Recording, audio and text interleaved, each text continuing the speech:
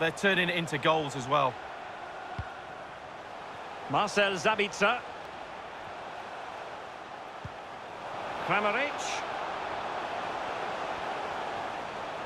Oh, big chance.